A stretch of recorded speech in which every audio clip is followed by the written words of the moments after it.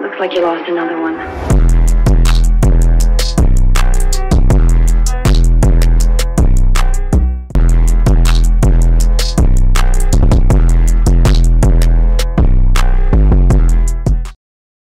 Today I'm going to help you play better defense in Madden 24 instantly. If you enjoyed the breakdowns on this channel, drop a thumbs up on the video, comment down below, algorithm, and I will keep pumping these tips and schemes out. Right now we is using my money offense. I just updated it in the ebook. It has six to seven great runs, great passes, beat cover two, cover three, man coverage, you name it. We're going to go into the end zone and score 30 plus points on offense. But this video is about defense. On defense, if you want to play lockdown defense, three main keys. Always expect a streak route, a flat route to pull down zones, and a corner route.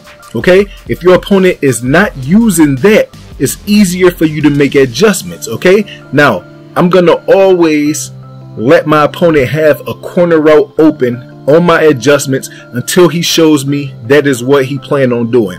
So right here, I am always using opposite of the running back. I'm going to run down in case the running back goes out the backfield. If I see the running back don't go out the backfield, I'm able to run down the field and lurk. Right there, he throws a tight corner route. Okay, that could have been knocked out. That could have been an interception.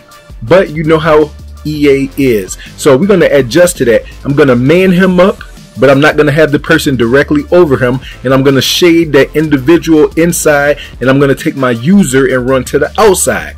Because of the shading and the adjustments, my opponent throws the ball over the top of the receiver's head into another adjusted zone that I have. Everything that you see in these clips in these breakdowns I have in the ebook. You can have cover two shells with cover three behind it, cover three shells with cover two behind it, cover four with a cover three shell. I have all the breakdowns that you need down in the link in the description and pinned in the comment section. Okay, so like I said, expect for your opponent to always have a streak route on the field.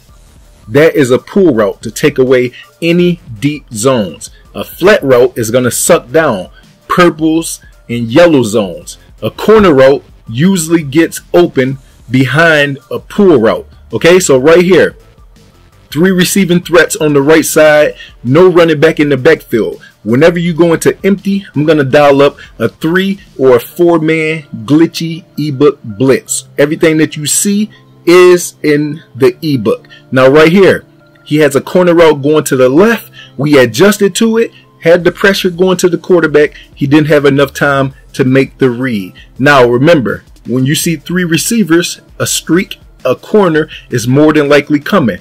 A small adjustment, put a 30 yard cloud on one side of the field. So my normal adjustments was on the left side. On the right hand side, I put a deep half and a 30 yard cloud. Whether I'm in cover four, cover three, it don't matter. One side will be one coverage. The other side, where the three receivers is at, is going to be a completely different coverage shell. So when my opponent is looking down the field at his first read, he's going to think that corner route is open. He throws it right into a 30 yard cloud, pick city, easy touchdown.